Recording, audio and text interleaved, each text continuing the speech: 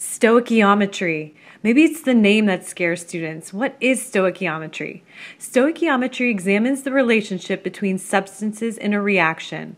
How can we understand it in real world terms? Let's imagine that we make pasta and have a mean boss.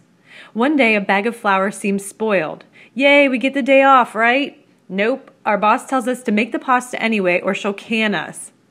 We only have two cups of flour and we need to use every bit. But how many eggs is that? What is the equivalent of eggs in cups? That doesn't make sense. One thing we can do is to get them in the same terms. Let's convert a cup of flour and an egg into weight, into grams. Like how much does a cup of flour weigh? How much does an egg weigh? Let's make that into an equivalent of our recipe. Our recipe is a balanced formula.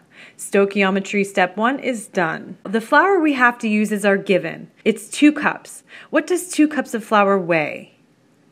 Okay, we now have the total weight of our given. Step two is done. Step three, we're going to take our grams of flour and see how many grams of eggs is needed. In order to do this, we need the ratio found in the original recipe.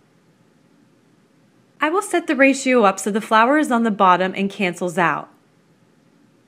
That is our result for step three 114 grams of eggs, but that's not entirely helpful. What is 114 grams of eggs in terms of whole eggs? Step four, we're going to convert our grams to whole eggs.